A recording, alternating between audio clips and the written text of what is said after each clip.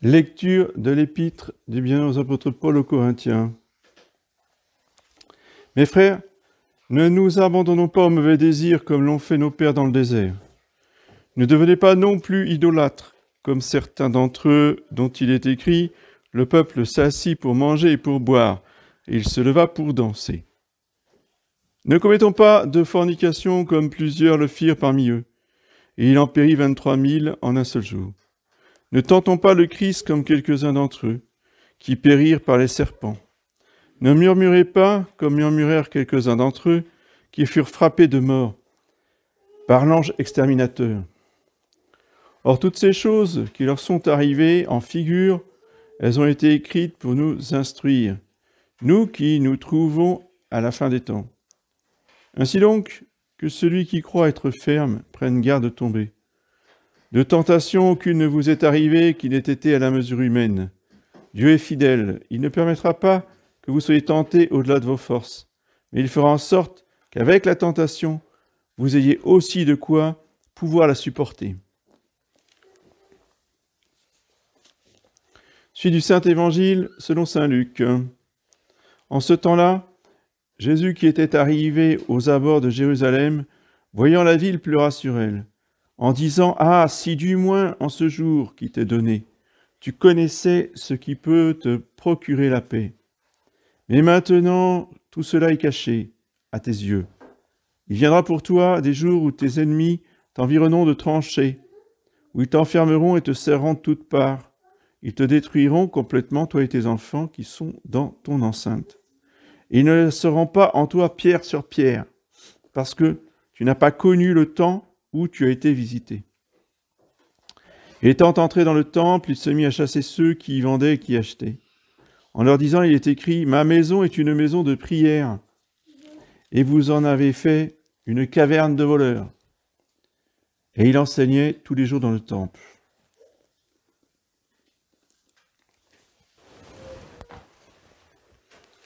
Au nom du Père et du Fils et du Saint-Esprit, ainsi soit-il.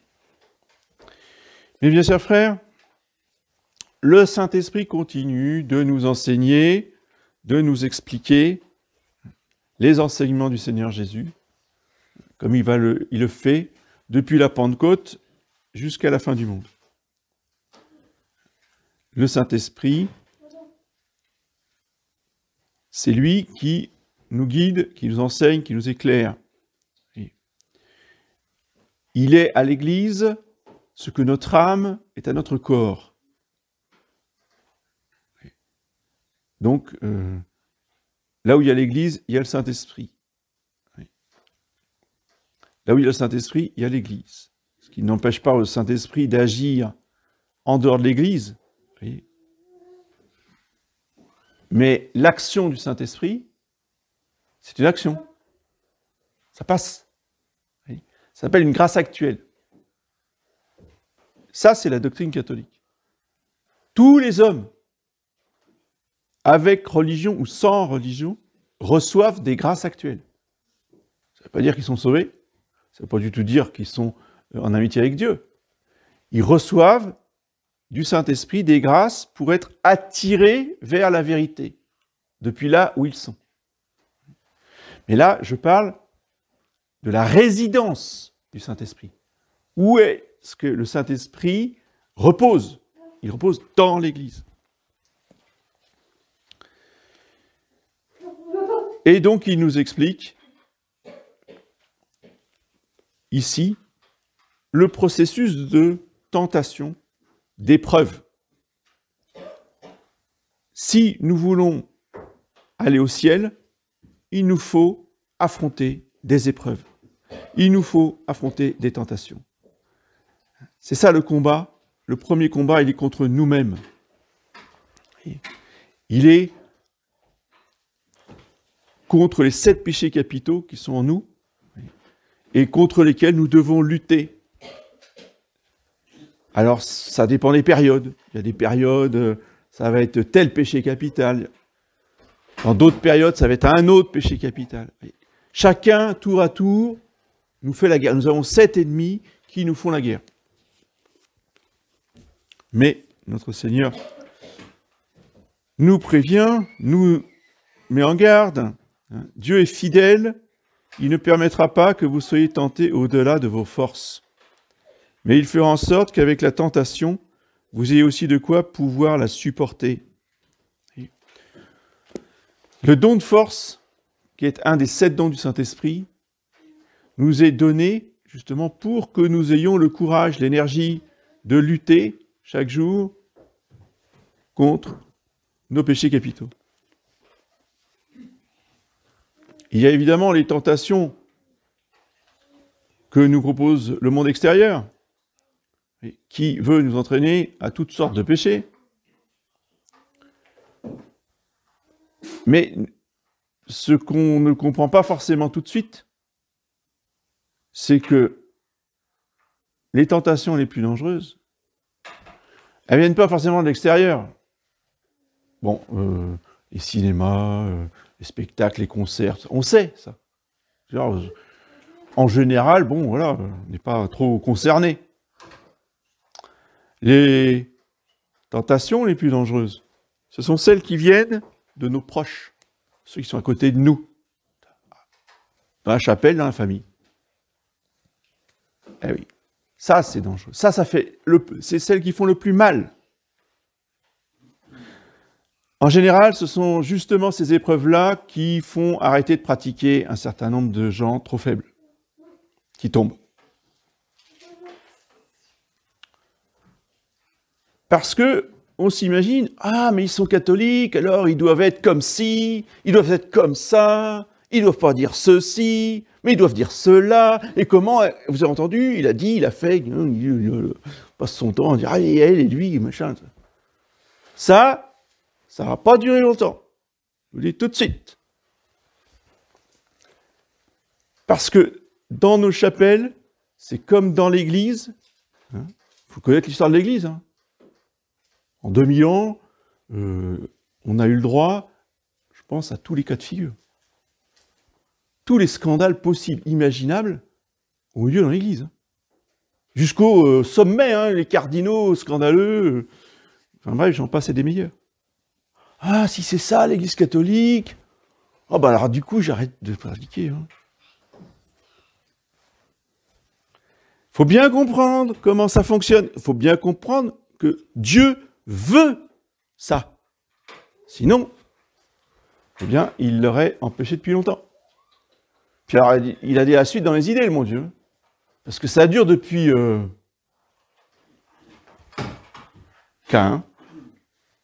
Cain qui tue Abel. Ça commence tout de suite. Et après, le peuple hébreu, euh, j'ai. Hein. Saint Paul euh, montre bien. Hein. C'est quoi les Hébreux? Le peuple élu. Hein. Le seul peuple sur la terre qui est appelé à être sauvé. S'il vous plaît. Alors, euh, les adultères, les... la fornication, l'idolâtrie, euh, ils traversent la mer Rouge. Ils sont arrachés au Pharaon. Ils voient toute l'armée de Pharaon engloutie dans la mer Rouge. Enfin, je veux dire, quel est l'homme qui peut se targuer d'avoir vu un tel spectacle? Il n'y en a pas beaucoup sur Terre. Hein. Ah bah ouais, mais non, non, tranquille, euh, nous on va adorer le veau d'or. Hein. Et on fait la fête, on boit, on danse et on mange autour du veau d'or. Alors le veau d'or, c'était une divinité égyptienne. C'est une vraie, une idolâtrie. C'est incroyable. Et vous avez la moitié du peuple qui persévère devant Moïse. Bon, tout le peuple a dansé, hein, tout le peuple a adoré. Hein. Bon, quand même, il y en a, euh, comme Moïse leur dit, euh, ceux qui sont avec moi, qui regrettent ce qu'ils ont fait, ben, ils viennent derrière moi. Il y en a que la moitié qui ont été avec Moïse. Et les autres, ils ont été passés au fil de l'épée. Euh, voyez Et être quoi Te scandaliser etc., etc. À un moment donné, il y a eu euh, une révolte, là, il y en a deux qui se sont révoltés, donc entraîné derrière eux leur tribu, c'est pas compliqué, hein. La terre, elle s'ouvre, tombent tous dans l'enfer, hop, le bon Dieu referme la terre, terminé. Encore des volontaires? Ah, tout le monde est d'accord, là. ça calme tout le monde. Ça. Et c'est ça, le peuple élu. Et l'Église catholique, c'est pareil. Bon, alors, euh, c'est moins spectaculaire, hein. il n'y a pas la mer rouge qui s'ouvre et la terre s'ouvre pas sous nos pieds, mais c'est la guerre, c'est la croisade, c'est l'Inquisition, euh, c'est euh, des combats permanents. C'est des scandales permanents. Ce sont des hérésies permanentes. On n'a pas attendu Vatican II hein, pour avoir des hérésies. Hein. Dès les apôtres, dès Saint Jean. Saint Jean a dû euh, lutter contre une secte des Nicolaïtes, là, ça démarrait tout de suite, la guerre. Et c'était qui les Nicolaïtes? Des prêtres, s'il vous plaît. Du temps de Saint Jean, s'il vous plaît. Ah, nous, on est là, ah, si on avait des évêques. Non, mais attendez, eux, ils ont eu des apôtres. Hein. D'accord? Et ils ont fait les pires horreurs. Alors, on arrête de se scandaliser. On arrête de croire que demain, quand il y aura des évêques, ah, tout sera beau, tout sera formidable, tout ira bien. Hein. depuis quand vous avez vu que tout irait bien? Est-ce que vous pouvez me citer une période où tout a été bien dans le passé? Ça n'existe pas, parce que Dieu ne veut pas. Dieu veut que nous fassions l'expérience du mal pour que nous choisissions librement le bien. Donc, faut arrêter de dire ah si seulement euh, euh, tout, allait bien et qu'il n'y avait pas toutes ces divisions. Ah si seulement les prêtres s'entendaient bien. Quand les prêtres se sont bien entendus Mais vous rêvez complètement. Quand il y avait des papes et des évêques, c'était là où ils avaient beaucoup de puissance, justement. C'était pire que maintenant. Maintenant, c'est de la, c'est de la bibine, c'est de la petite douceur. Quand vous aviez des évêques avec un vrai pouvoir, avec des seigneurs armés, avec pouvoir de euh, euh, haute et basse justice, mais ils pendaient les gens, vous croyez que ça se passait bien? Justement, c'est pour ça que j'ai fait venir Jean-Noël Toubon, pour qu'il vous raconte comment ça se passait dans le Moyen Âge, du temps de Saint Dominique, du temps des papes catholiques. Et vous allez prendre conscience que ce que c'est que la vie chrétienne en tant de chrétienté. C'est pas du roman à l'eau de rose. Et dans l'Ancien Testament, c'était pareil. Une tentation très dangereuse, le murmure. Hein, ne murmurez pas comme murmurèrent quelques-uns d'entre eux qui furent frappés de mort par l'ange exterminateur. C'est quoi le murmure? En langage moderne, on appelle ça le mauvais esprit. L'esprit critique, mais euh, à un point maladif. Ce n'est pas, la critique constructive, c'est la critique négative qui détruit. C'est-à-dire qu'il n'y a jamais rien de bien. on critique tout. Tout, est mal, tout va pas, parce que euh, ça ne correspond pas à ce que moi je pense, à ce que moi je veux.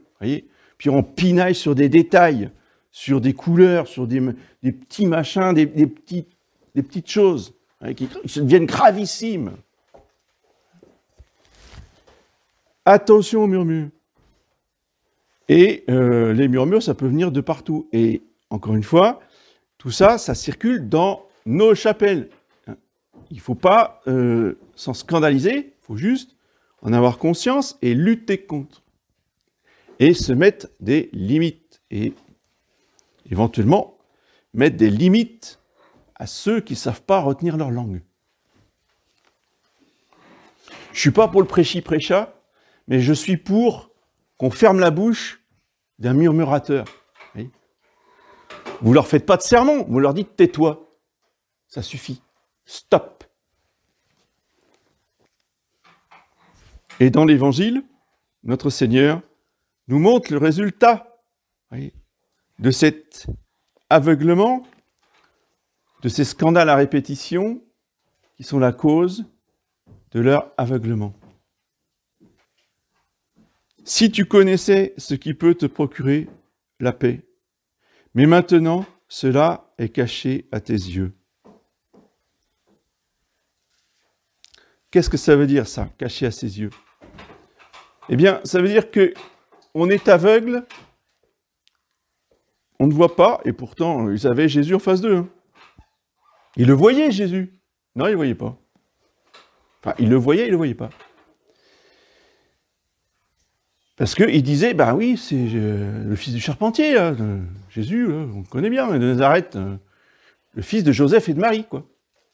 Donc il ne connaissait pas, il ne voyait pas qui était Jésus. Et pourtant, il faisait des miracles. Malgré les miracles, il multiplie les pains et ils vous disent Ah ouais, c'est le fils de Jésus de, Marie, de Joseph et de Marie. Il n'y a pas pire aveugle que celui qui ne veut pas voir. Donc comment faire pour voir? C'est pas compliqué. Il faut vouloir voir. C'est tout. Et pour vouloir voir, il faut chercher. Et comme le dit Jésus dans l'Évangile dans un autre passage, cherchez, vous trouverez. Frappez, on vous ouvrira. Encore faut-il frapper. Encore faut-il chercher, se donner du mal. Chercher à savoir, se poser des questions. Ah oui, mais j'ai pas la réponse. Justement, repose la question. Puis un, jour, vous allez, si vous êtes attentif, recevoir des réponses. Oui, mais la réponse, elle ne comprend pas. Ah oui, c'est normal. Au début, c'est tout le temps comme ça. C'est comme quand on fait un puzzle, on a un tas de pièces, on, ça veut strictement rien dire, votre tas de pièces. D'accord? Donc on commence à prendre une pièce. Bah, on ne sait pas trop, alors on la met plus ou moins là, et puis on prend une deuxième pièce. Puis, puis au bout d'un moment, oh, ça prend ça. Il y a une image qui apparaît. On dit, ah, ça, c'est bien. Parce que vous avez gardé toutes les pièces. Si vous dites, oh, c'est quoi cette pièce-là? Oh, ça veut je ne vois pas ce que c'est, c'est trop petit. Hop, poubelle. Prends une autre pièce. Vous, oh, je vois pas. Hop, poubelle.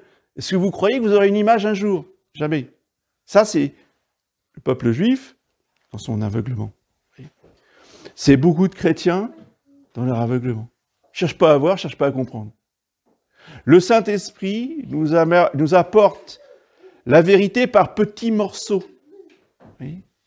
Alors ces petits morceaux de vérité qu'on ne comprend pas, on ne comprend pas. Donc on le confie à sa mémoire. Puis on dit, un jour je comprendrai. J'attends la deuxième pièce. Quand la deuxième pièce arrive, ah oui, il y a ça, mais je ne vois pas trop ce que ça veut dire.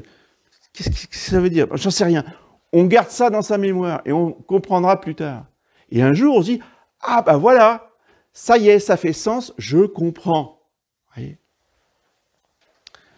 Mais pour ça, il faut attendre 10 ans, 15 ans, 20 ans, 30 ans, 40 ans. Le Saint-Esprit n'est pas pressé pour nous expliquer les choses. Donc, avis aux convertis qui débarquent. Euh, s'il y a deux ans que vous êtes là, voyez, commencez pas à vouloir enseigner la terre entière. Hein, vous ne connaissez rien. Ah mais si, monsieur l'abbé, je connais mon Oui, non, tu connais rien.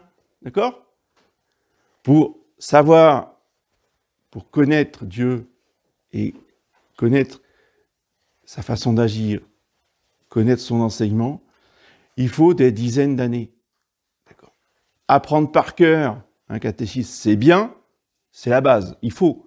Mais ce que je veux dire, ça ne veut pas dire qu'on le comprend, le catéchisme. Ça veut dire qu'on l'a mémorisé. Et on ne peut pas comprendre quelque chose qu'on n'a pas mémorisé. Comment voulez-vous comprendre si vous avez tout oublié? Là, c'est Jérusalem qui ne voit pas euh, le temps de sa visite. Hein. Donc, on mémorise, fondamental. Et après, une fois qu'on a bien mémorisé, eh on réfléchit, on cherche, on complète par des lectures, et on se pose des questions. C'est fondamental. Si on ne se pose plus de questions, on n'aura jamais de réponse. Normal. Tu veux pas savoir? Bah, Tu sauras rien. Quand on pose des questions, Dieu est poli. Lui, il répond toujours. Il y en a, on écrit des lettres, on attend toujours la réponse un an après. Hein. On n'a pas le temps de répondre. Pas avec le bon Dieu. Ah, on peut attendre un petit peu, certes, mais jamais euh, très longtemps euh, dans un, pour montrer qu'il a bien entendu la question, mais il répond toujours. Il y a toujours une réponse, même si c'est 20, 30 ans après, il y aura toujours des réponses. Mais des réponses par petits morceaux. Pas une réponse directe comme ça, euh, tu m'as posé la question, voilà la réponse. Jamais avec le bon Dieu. C'est par petits morceaux. Et si notre Seigneur, aussitôt après avoir parlé de cet aveuglement, nous parle des vendeurs du temple. Hein. Étant entré dans le temple, Jésus se mit à chasser ceux qui y vendaient et qui achetaient en leur disant Ma maison est une maison de prière, vous en avez fait une caverne de voleurs. Pourquoi faire ça aussitôt après? C'est, Voilà, c'est des questions qu'il faut se poser. Ça, c'est des questions qu'il faut poser au Saint-Esprit. Réponse Parce que c'est la cause de la ruine de Jérusalem. C'est la cause de leur aveuglement et c'est la cause de la ruine totale, puisqu'il ne va plus rester pierre sur pierre de cette ville. La maison de Dieu, la chapelle, est une maison de prière. Et vous, ben, vous avez été progressivement, hein. ce n'est pas une caverne de voleurs tout de suite. Hein. Non, non. C'est pas, c'est des gens bien. Donc, pour offrir des sacrifices, dans l'Ancien Testament, il fallait acheter des tourterelles pour les pauvres, il fallait acheter un agneau, il fallait acheter une vache ou un bœuf, pour les riches. Donc il y avait... Euh, c'est du commerce, mais c'est pour le sacrifice. C'est pour Dieu. Hein, c'est bien. Commerce. On commence par le commerce. Tant le temple. Évidemment que Jésus n'est pas contre l'achat des bêtes pour le sacrifice, parce que c'est lui qui l'a demandé. Le problème, il n'est pas là, il est que c'est l'achat dans la maison de Dieu. Même si c'est pour la maison de Dieu, ça ne devrait pas être dans la maison de Dieu. Vous comprenez? Très important. Si on commence comme ça, commerce, puis après on fait trafic. Bah oui, bah, attendez, les juifs qui arrivent du monde entier, là, ils font comment pour acheter? Il faut bien qu'ils changent leur monnaie. banque, bureau de change, trafic. Et puis on finit par des voleurs. Parce qu'évidemment, euh, usure, prêt, euh, euh, et puis on, trafique, enfin c'est vieux comme le monde, hein, trafiquer les monnaies, trafiquer les changes. Et on vole le client. Tout ça dans la maison de Dieu. Déjà, c'est pas bien à l'extérieur. Même s'il avait fait à l'extérieur, c'était pas bien, mais bon, je pense que Dieu serait pas fâché comme ça. Mais là, ça se fait dans la maison de Dieu. Eh bien, c'est pareil pour le Nouveau Testament dans les chapelles, on ne fait pas de commerce. On n'ouvre pas une librairie. Dans combien de chapelles vous avez eu carrément la librairie au fond, avec 600 euh, bouquins Et c'est quoi ça? Après, on s'étonne que ça ne fonctionne pas. Mais ça ne peut que provoquer la colère de Dieu. Bon, moi, je vous ai mis un livre. Il ne faut pas me dire que je fais du commerce dans la chapelle un livre.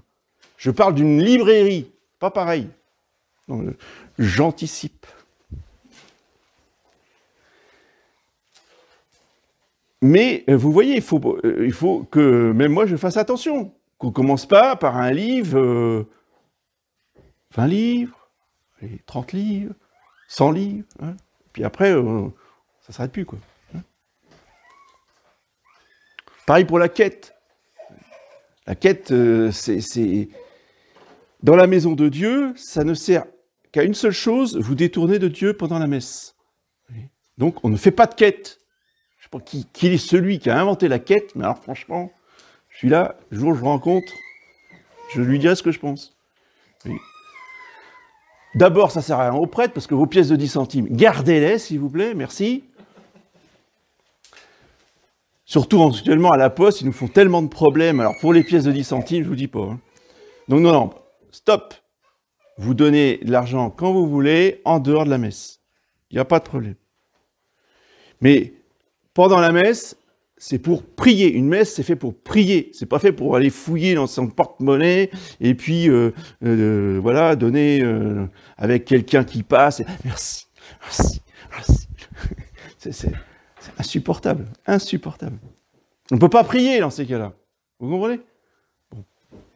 Donc, restons recueillis, restons en adoration pendant toute la messe avec le bon Dieu et ne faisons pas rentrer toutes ces euh, choses qui provoquent la colère de Dieu.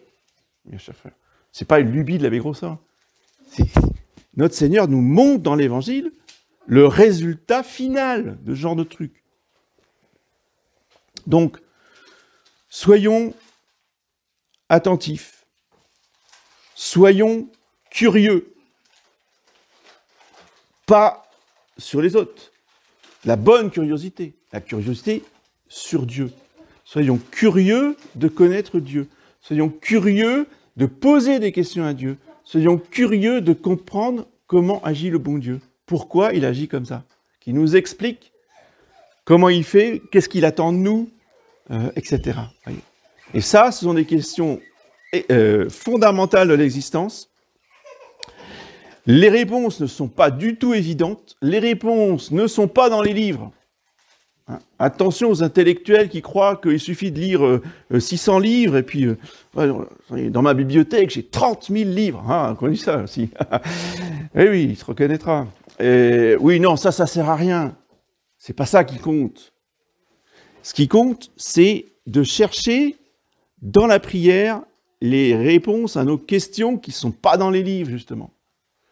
Certaines réponses sont dans les livres, mais loin euh, d'être euh, toutes dans les livres, puisque les livres ne connaissent pas nos vies à nous. Et nous, ce qu'on attend, c'est des réponses par rapport à nos vies, à notre famille, à notre histoire. Et ça, c'est dans aucun livre l'histoire de vos ancêtres, les leçons à tirer des ancêtres sur 3-4 générations. C'est dans aucun livre. Et c'est les réponses les plus importantes qui soient dans la vie. Et qui se les pose déjà? Qui cherche? Et quand on se pose des questions et qu'on les cherche, on les trouve, mais pas tout de suite. Et en tout cas, il faut travailler pour les trouver.